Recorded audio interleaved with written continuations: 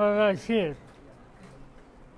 की क्रायसिस असला संघर्ष असला किंवा काही नवीन उभं करायचं असलं तर प्रामुख्यानं दोन शहरांची मी निवड करतो त्याच्यामध्ये सातारा एक आणि कोल्हापूर एक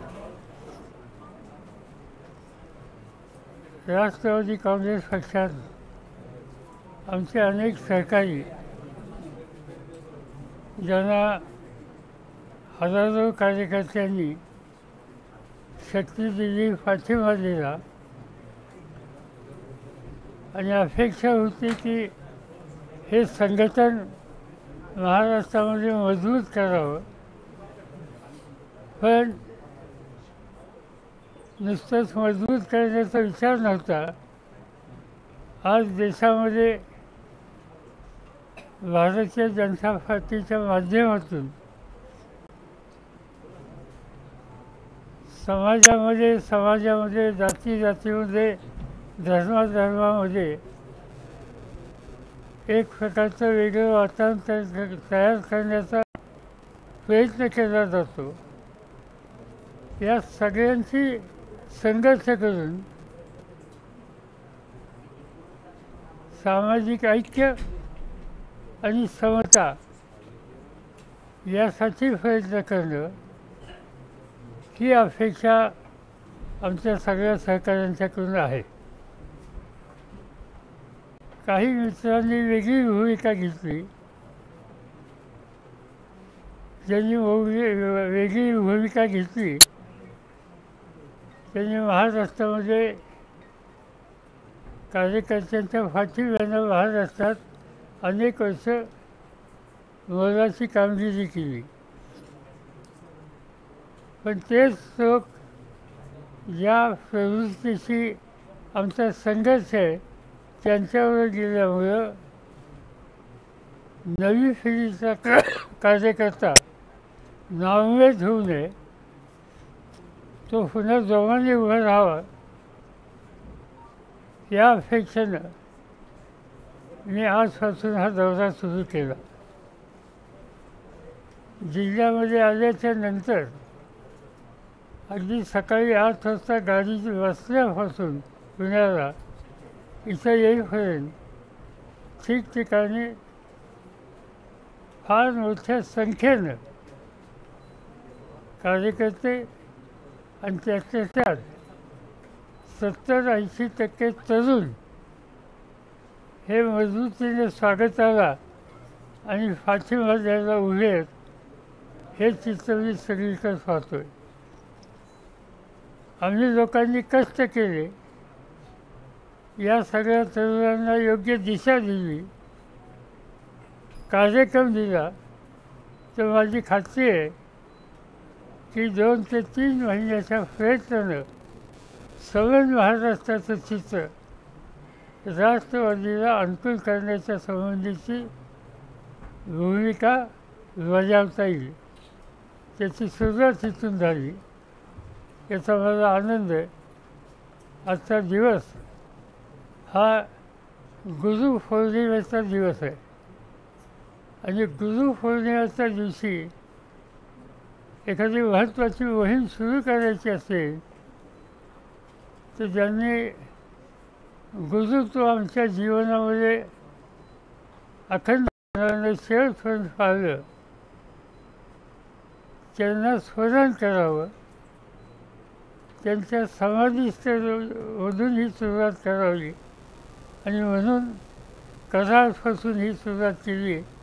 यशवंतराव चव्हाणांच्या समाधीला नमन करून. आता तिथून सुरुवात केल्याच्यानंतर माझी खात्री आहे महाराष्ट्रातला तरुण ज्या पद्धतीनं या जिल्ह्यामध्ये मी बघतोय त्याच पद्धतीनं पुन्हा एकदा राष्ट्रवादी काँग्रेस पक्ष मजबूत करायला उभं राहील आणि या मोहिमेची सुरुवात इथं केली. महाराष्ट्रात महाराष्ट्राच्या विधानसभेमध्ये राष्ट्रवादीच्या वतीनं पहिल्या दिवसापासून ज्यांना नेतृत्व दिलं. पक्षाचं नेतृत्व विधिमंडळामध्ये ते करतात त्यांचं नाव जयंतराव पाटील आहे. जयंतराव पक्षाचे अध्यक्ष जसे आहे तसे विधिमंडळ काँग्रेस पक्षाचे नेतेसुद्धा आहेत. आणि त्यामुळे नेत्यांनी एखादा निर्णय घेतला असेल किंवा पत्रव्यवहार केला असेल तर हा त्यांचा अधिकार आहे. त्यांनी काय केलं हे मला माहिती नाही तुमच्याकडनं मला समजलं त्यांनी काहीतरी असा निर्णय घेतला आहे. घेतला असेल तो विचारपूर्वक घेतला असेल. साहेब अ, शिव- आम्ही शिवसेनेसोबत जाऊ शकतो तर भाजपसोबतही जाऊ शकतो असं अजित पवारांनी विधान केलं होतं. राष्ट्रवादीसाठी नक्की हिंदुत्व काय आहे? नाही, साधी गोष्ट आहे की आम्ही शिवसेनेवर जाऊ शकतो. अडीच वर्ष आम्ही शिवसेनेसोबत काम केलं. त्यावेळी आम्हाला कधी वाटलं नाही की शिवसेनेकडे जाता जास्त चूक झाली. तुम्हाला लोकांच्या माहितीसाठी एक सांगतो. की इमर्जन्सी ज्यावेळेला या देशात जाहीर झाली त्यावेळेला देशातल्या अनेक राजकीय पक्षांनी आणि विशेषतः मीडियानी फार मोठा अटॅक इंदिरा गांधींच्यावर केलेला होता. त्या काळामध्ये इंदिरा गांधींची भूमिका योग्य असं म्हणणारा एकच पक्ष आणि एकच नेता होता. त्यांचं नाव बाळासाहेब ठाकरे आणि पक्षाचं नाव शिवसेना. त्याच्यानंतर जी निवडणूक झाली त्या निवडणुकीमध्ये शिवसेना असा एकच पक्ष होता की त्यांनी एकही उमेदवार उभा केला नाही आणि इंदिरा काँग्रेसच्या उमेदवारांना पाठिंबा दिला. त्यामुळे आत्ता काहीतरी आम्ही वेगळं करतो असं नव्हे. यापूर्वीसुद्धा आम्ही त्यांच्यासमोर भूमिका घेतलेली होती. आणि त्यामुळं काहीतरी वेगळं काहीतरी घडतं आहे असं सांगायचं कारण नाही. आणि काय घडतं आहे हे आज कळलं. अडीच वर्षाच्या पूर्वी ज्यावेळेला आम्ही सरकार स्थापन केलं त्यावेळेला आज काल ज्यांनी शपथ घेतली त्यांनी त्या सरकारमध्ये शपथ घेतली होती.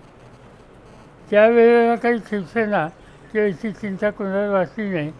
त्यामुळं आज काय म्हणतात त्याच्याकडे फारसं लक्ष द्यायची आवश्यकता नाही. पाच तारखेला आपली पक्षाची बैठक आहे. त्यासाठी त्या बैठकीला ज्यांनी हरकत घेतली त्यांना आपण बोलवणार आहे. पक्षाचे अध्यक्ष आता पक्षाच्या अध्यक्षांना विचारावं लागेल. राज्याच्या याच्या कारण हा निर्णय जयंतचा घेतली काय कमी केलं होतं? आपण रामराजेंना असं काय कमी केलं होतं? ते तिथे गेले आज इथे उपस्थित नाहीत. आज इथं उपस्थित नाही याच्याबद्दल समाधान अनेक कार्यकर्त्यांना मला कळलं नाही. या माझी कमतरता होती. त्यांच्याबद्दलची जी मतं मी आज ऐकतोय हे बघितल्याच्या नंतर कार्यकर्ते मधून अजून नाराज का होते माझ्यावर? त्याची कारणं मला समजायला लागली.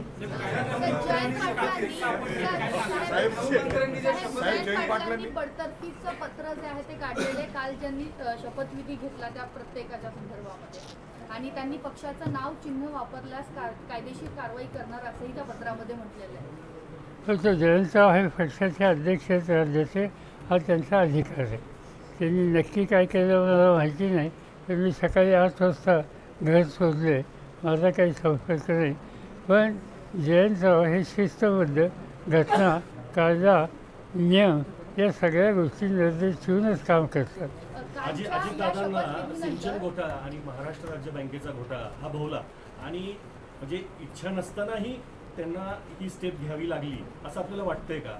नाही, पण याचा काय संबंध नाही नाही त्यांना अजित दबाव- पवारांनी अजित पवारांवरती जे प्रेशर टाकलं गेलं भाजपकडनं की तुम्हाला जेलमध्ये टाकू ईडीची चौकशी लावू महाराष्ट्र राज्य बँकेचा घोटाळा असेल सिंचन अशी माहिती माझ्याकडे नाही आहे अशी माहिती माझ्याकडे नाही आहे म्हणजे मी फक्त प्रधानमंत्र्यांचं एक स्टेटमेंट वाचलं होतं.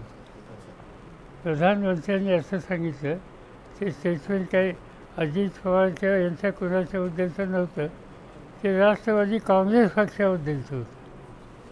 आणि प्रधानमंत्री चार दिवसापूर्वी असं म्हणले की राष्ट्रवादी काँग्रेस पक्ष त्याचे सहकारी हे भ्रष्टाचारात सह- सहभागी झालेले आहेत. आणि त्यांच्या भ्रष्टाचाराची उदाहरणं किती देऊ? असं वेळेस त्यांनी दोन गोष्टी सांगितल्या. राज्य सहकारी बँक आणि काय ते जे पाच बंधारे खात्याचं धोरण या दोन गोष्टी त्यांनी सांगितल्या. आत्ता तुम्ही म्हणला त्याप्रमाणे याचे काही आरोप आमच्या सहकाऱ्यांच्यावर खुद्द प्रधानमंत्र्यांनी केले होते. पण ज्या अर्थी काल मंत्रिमंडळामध्ये सहभागी करून घेण्याच्यासाठी आमच्या सगळ्या महत्त्वाच्या सहकार्यांना त्यांनी थांबवलं नाही याचा अर्थ त्यांनी जे आधी आरोप केलेले होते ते वास्तव नव्हते हे यांच्या निवडीतून त्यांनी मान्य केले. ही जमेची बाजू आहे. राष्ट्रवादीच्या दृष्टीनं याच्यात एकंदर प्रधानमंत्र्यांचं त्यावेळेचं स्टेटमेंट आणि आजचं एकंदर चित्र हे पाहिल्याच्या नंतर त्यातनं निर्दोषत्व हे द्यायची भूमिका पक्षाच्या म्हणजे देशाच्या नेतृत्वाने केली, याचा मला आनंद आहे. नमस्कार, मैं हूँ मानक गुप्ता। अगर आपको हमारा ये वीडियो पसंद आया हो तो इसे लाइक और शेयर ज़रूर करें। और हाँ हमें सब्सक्राइब और फॉलो करना ना भूलें ताकि आप देश और दुनिया की कोई खबर मिस ना करें। तो जुड़े रहिए हमारे साथ और देखते रहिए न्यूज 24